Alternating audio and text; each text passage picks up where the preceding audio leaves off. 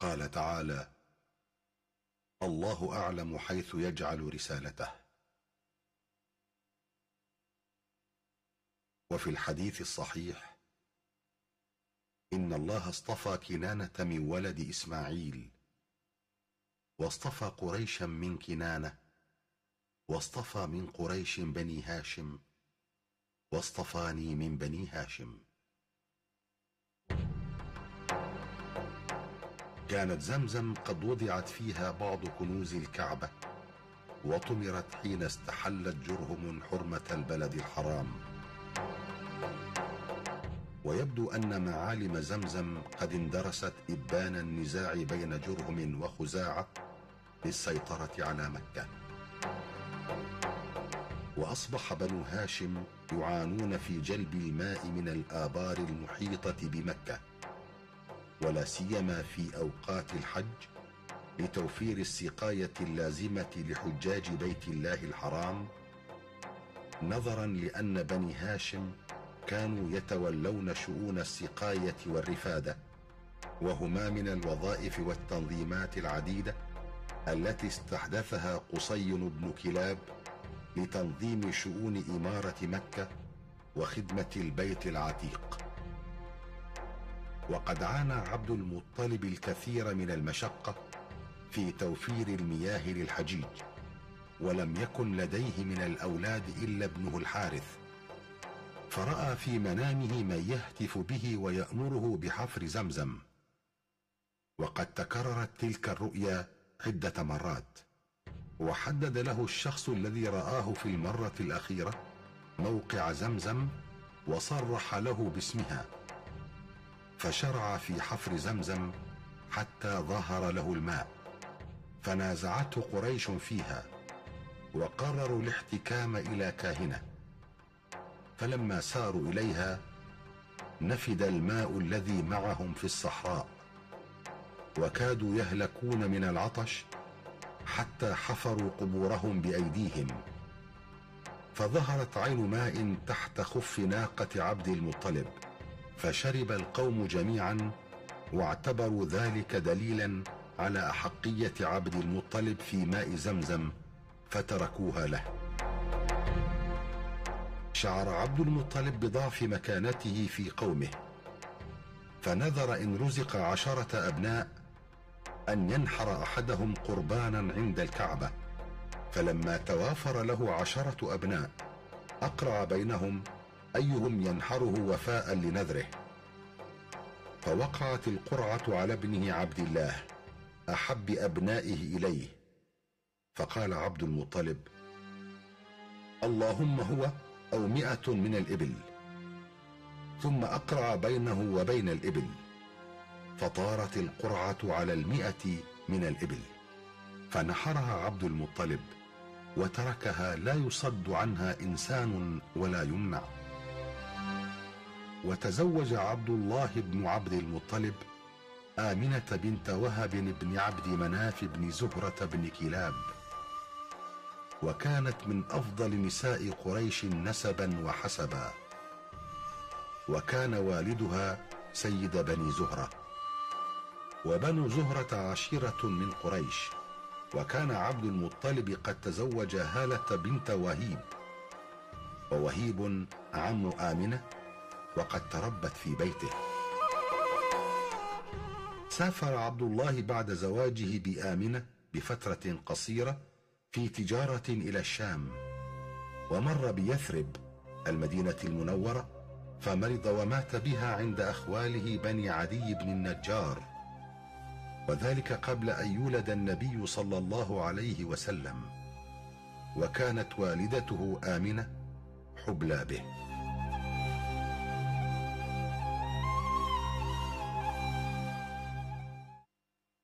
ولد النبي محمد صلى الله عليه وسلم في مكة في شعب بني هاشم يوم الاثنين الثاني عشر من شهر ربيع الأول. ولأول عام من حادثة الفيل سنة سبعين وخمسمائة ميلادية. وهو محمد بن عبد الله بن عبد المطلب بن هاشم بن عبد مناف بن قصي بن كلاب بن مرة بن كعب بن لؤي بن غالب بن فهر بن مالك بن النضر بن كنانة بن خزيمة بن مدركة بن إلياس بن مضر بن نزار بن معد بن عدنان. وينتهي نسب عدنان إلى إسماعيل بن إبراهيم عليهما السلام.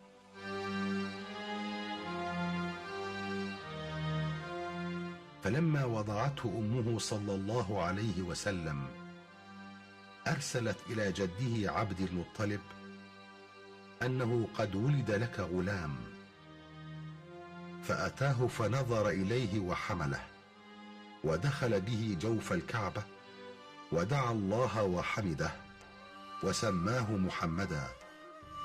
وكان هذا الاسم غريبا فتعجب منه العرب. وللنبي محمد صلى الله عليه وسلم أسماء كثيرة. وقد ثبت في الصحيحين من حديث جبير بن مطعم عن أبيه قال قال رسول الله صلى الله عليه وسلم لي خمسة أسماء أنا محمد وأنا أحمد وأنا الماحي الذي يمحو الله بي الكفر. وأنا الحاشر الذي يحشر الناس على قدمي. وأنا العاقب. وقال أيضا أنا محمد وأحمد والمقفى والحاشر ونبي التوبة ونبي الرحمة.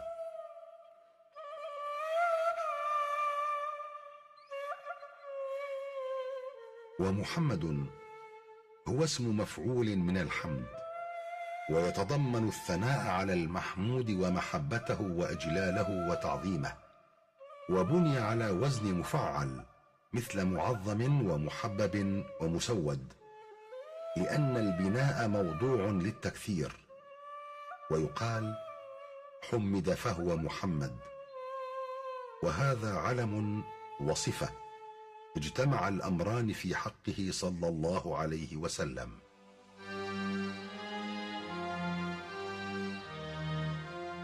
أرضعته ثويبة جارية عمه أبي لهب بضعة أيام وأرضعت معه عبد الله بن عبد الأشد المخزومي بلبن ابنها مسروح وأرضعت معهما عمه حمزة بن عبد المطلب.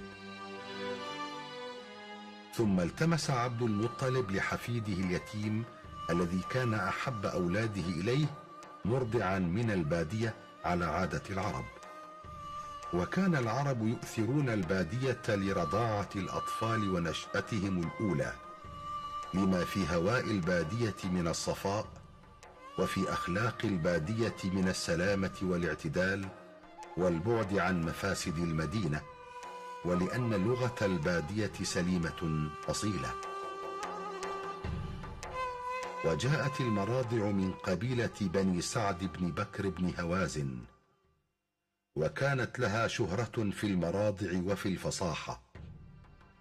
وأدركت حليمة السعدية هذه السعادة وهذا الشرف. وهي ابنة أبي ذؤيب وزوج الحارث بن عبد العزى. وله من الأبناء وهم إخوة النبي صلى الله عليه وسلم من الرضاعة عبد الله وانيسه وحذافة الشيماء وهي التي كانت تحضن النبي صلى الله عليه وسلم مع أمها. تقول حليمة خرجت من بلدي مع زوجي وابني الرضيع عبد الله في نسوة من بني سعد بن بكر نلتمس الرضعاء. وكان ذلك في سنة شهباء لم تبق لنا شيئا على أتان لي قمراء تميل للخضرة. معنا شارف أي ناقة مسنة لنا. والله ما تبض أي ما ترشح بقطرة. وما ننام ليلنا أجمع من صبينا الذي معنا من بكائه من الجوع. ما في ثديي ما يغنيه وما في شارفنا ما يغديه. ولكنا كنا نرجو الغيث والفرج. حتى قدمنا مكة نلتمس الرضعاء فما منا امرأة إلا وعرض عليها رسول الله صلى الله عليه وسلم فتأباه إذا قيل لها إنه يتيم. فما بقيت امرأة قدمت معي إلا أخذت رضيعا غيري. فلما أجمعنا الانطلاق قلت والله إني لأكره أن أرجع من بين صواحبي ولم آخذ رضيعا. والله لأذهبن إلى ذلك اليتيم فلآخذنه. فذهبت إليه فأخذته ورجعت به إلى رحلي. فلما وضعته في حجري أقبل عليه ثدياي بما شاء من لبن. فشرب حتى روي. وشرب معه أخوه حتى روي. ثم ناما. وما كنا ننام معه قبل ذلك. وقام زوجي إلى شارفنا تلك أي ناقتنا المسنة فإذا إنها لحافل. فحلب منها ما شرب وشربت معه حتى انتهينا ريا وشبعا. فبتنا بخير ليلة. فلما أصبحنا قال زوجي تعلمي والله يا حليمة لقد أخذت نسمة مباركة. فقلت والله إني لأرجو ذلك. ثم خرجنا وركبت أتاني وحملته عليها معي. فوالله لقطعت بالركب ما يقدر عليها شيء من حمرهم. حتى إن صواحبي ليقولن لي يا ابنة أبي ذؤيب ويحك اربعي علينا أي انتظري. أليست هذه أتانك التي كنت خرجت عليها؟ فأقول لهن بلى والله إنها لهي هي. فيقولن والله إن لها لشأنا. ثم قدمنا منازلنا من بلاد بني سعد وما أعلم أرضا من أرض الله أجدب منها. فكانت غنمي تروح علي حين قدمنا به معنا شباعا. فنحلب ونشرب وما يحلب إنسان قطرة لبن حتى كان الحاضرون من قومنا يقولون لرعيانهم ويلكم اسرحوا حيث يسرح راعي بنت أبي ذؤيب. فلم نزل نتعرف من الله الزيادة والخير حتى مضت سنتاه وفصلته. وكان يشب شبابا لا يشبه الغلمان. فلم يبلغ سنتيه حتى كان غلاما جفرا أي شديدا. فقدمنا به على أمه ونحن أحرص شيء على مكثه فينا. لما كنا نرى من بركته. فكلمنا أمه وقلت لها لو تركت بني عندي حتى يغلظ فإني أخشى عليه وباء مكة. ولم نزل بها حتى ردته معنا. فرجعنا به.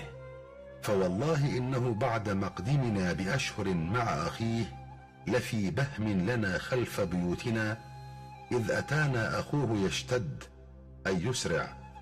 فقال لي ولأبيه ذاك أخي القرشي قد أخذه رجلان عليهما ثياب بيض فأضجعاه فشقا بطنه. فخرجت أنا وأبوه نحوه فوجدناه قائما منتقعا وجهه فالتزمته والتزمه أبوه فقلنا له ما لك يا بني؟ قال جاءني رجلان عليهما ثياب بيض فأضجعاني وشقا بطني فالتمسا شيئا لا أدري ما هو ورجعنا به إلى خبائنا. وقال لي زوجي يا حليمة لقد خشيت أن يكون هذا الغلام قد أصيب فألحقيه بأهله قبل أن يظهر ذلك به. فاحتملناه فقدمنا به على أمه. فقالت ما أقدمك وقد كنت حريصة عليه وعلى مكثه عندك؟ فقلت قد بلغ الله بابني وقضيت الذي علي وتخوفت الأحداث عليه فأديته إليك كما تحبين. قالت ما هذا شأنك فاصدقيني خبرك فلم تدعني حتى أخبرتها. قالت أفتخوفت عليه الشيطان؟ فقلت نعم. قالت كلا والله ما للشيطان عليه من سبيل وإن لبني لشأنا. أفلا أخبرك خبره؟ فقلت بلى. فقالت رأيت حين حملت به أنه خرج مني نور أضاء لي قصور بصرى من أرض الشام. ثم حملت به فما رأيت أخف ولا أيسر منه. وغادرت حليمة. وبقي صلى الله عليه وسلم مع أمه آمنة بنت وهب وجده عبد المطلب بن هاشم يكلأه الله ويحفظه. فلما بلغ من العمر ست سنين توفيت أمه وهي بالأبواء بين مكة والمدينة وكانت قد قدمت به على أخواله من بني عدي بن النجار ومن زيارة لها لأهلها. وأصبح يتيم الأب والأم تنتظره أحداث جسام وبقي رسول الله صلى الله عليه وسلم مع جده عبد المطلب بن هاشم. وكان يوضع لعبد المطلب فراش في ظل الكعبة. فكان بنوه يجلسون حول فراشه لا يجلس عليه أحد من بنيه إجلالا له. فكان رسول الله صلى الله عليه وسلم وهو غلام يأتي فيجلس عليه فيأخذه أعمامه ليؤخروه عنه. فيقول عبد المطلب إذا رأى ذلك منهم دعوا ابني فوالله إن له لشأنا. ثم يجلسه معه على الفراش ويمسح ظهره بيده.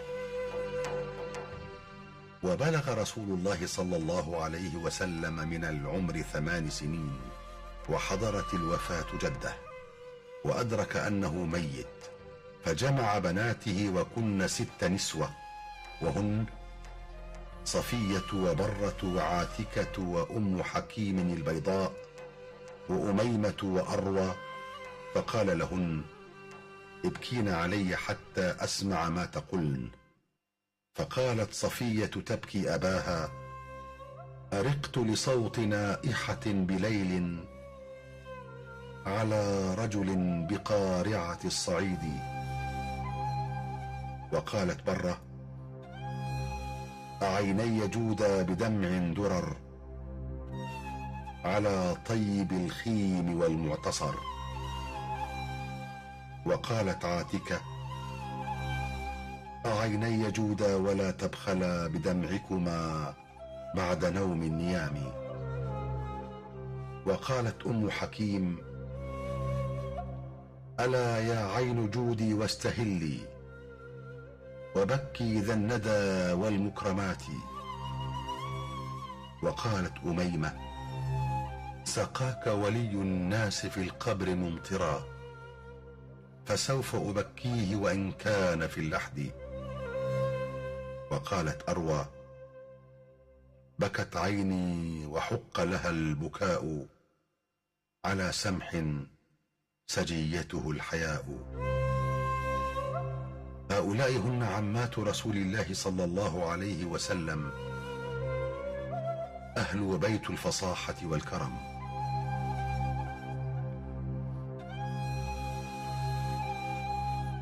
مات عبد المطلب جد رسول الله صلى الله عليه وسلم وولي زمزم والسقاية عليها العباس بن عبد المطلب وهو أحدث أخوته سنا. ولم تزل السقاية بيد ذريته حتى اليوم. وأوصى عبد المطلب أبا طالب بالنبي صلى الله عليه وسلم وانضم إليه. وذلك لأن عبد الله أبا الرسول صلى الله عليه وسلم وأبا طالب أخوان لأب وأم أمهما فاطمة ابنة عمرو المخزومية.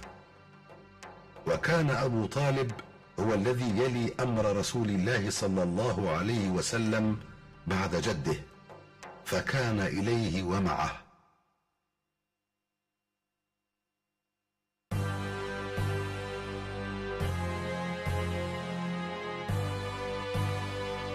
محمد.